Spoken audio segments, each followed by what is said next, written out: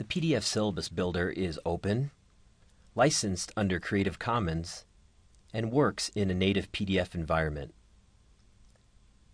To get your copy of the tool, go to this address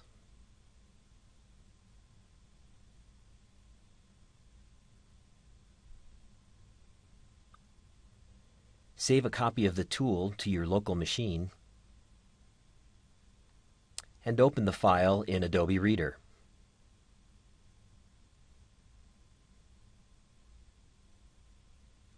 When working with the file, you may find it easier to put it in full screen mode.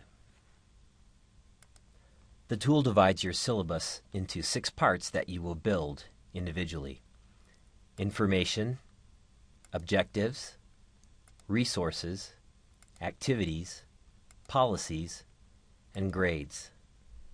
To get started, review the example syllabus that we have provided. When you're finished reviewing the example, use this button in the upper right hand corner to close it. At this point, you're ready to start entering in your information.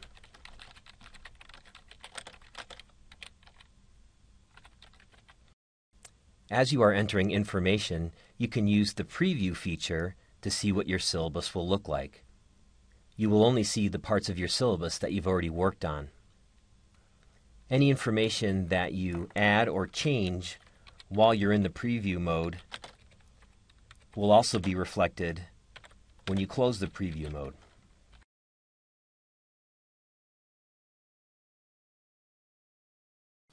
In each section of the tool, you will see editing palettes over on the right hand side. As I scroll over a section, that section will be highlighted if it's visible. If you see a plus, that means a section is hidden, and you can just click on the plus to unhide it or the X to hide it. You may add individual text fields or subtract them, control some of the spacing between sections, and also add other elements to the section. In the Objectives section, you will find the Bloom's Revised Taxonomy tool.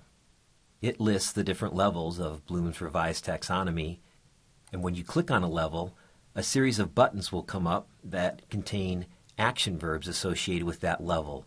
By clicking on a button, the verb will be populated into the next available objective field, and then you can simply type in the rest of the objective, and go on from there.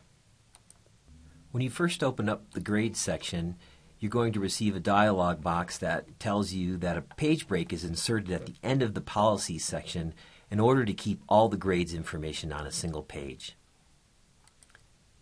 So you'll build out your components and put in your points here, but you won't see the grading scale that the tool calculates for you until you click Preview and then scroll down and look at the grades section. Now, as I mentioned before, this section is dynamic, so if I change some points there, it's going to recalculate my points and my grading scale. You can also click on the percentage title and make a change to the lower percentage brackets, and the tool will reconfigure the point spread for you. When you've completed all six parts of your syllabus, you'll be ready to publish. Click on Preview and then select Publish from the toolbar. A dialog window will open up, prompting you to save a copy of your syllabus that you can edit at a later time. Select OK. Give it a file name that you'll remember.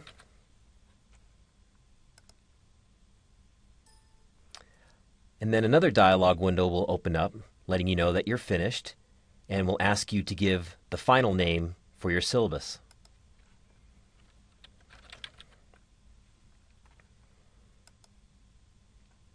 At this point, your syllabus is read-only and ready for your students.